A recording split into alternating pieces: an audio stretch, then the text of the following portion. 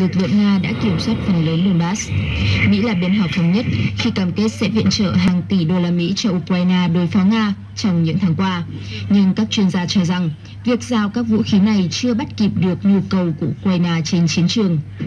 Các chuyên gia nhận định Nguyên nhân sâu xa khiến Ukraine bị chậm chuyển vũ khí, một phần nằm ở cơ chế hoạt động của ngành công nghiệp quốc phòng phương Tây hai ngày không thể sản xuất vũ khí đủ nhanh để vừa cung cấp vũ khí cho Ukraine và vừa đảm bảo phương Tây có đủ khí tài để tự vệ trước đối thủ tiềm tàng.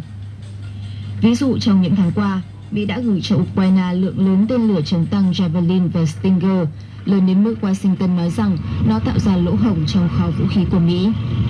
Theo ước tính, Mỹ sẽ phải mất vài năm nữa mới lấp đầy được. Tương tự như với các nước khác khi họ cũng đang đối mặt với tình trạng hết vũ khí sau khi viện trợ cho Ukraine.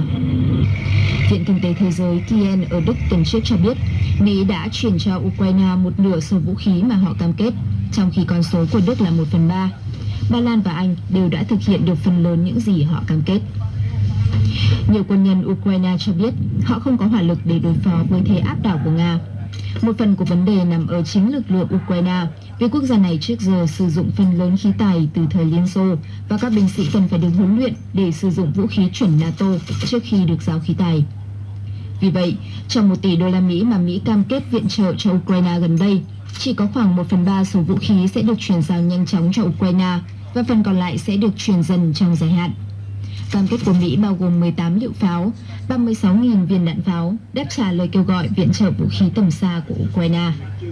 Tuy nhiên, những con số trên như muối bỏ bể đối với những gì Ukraine cho rằng họ cần có để thay đổi cục diện trước Nga ở Donbass.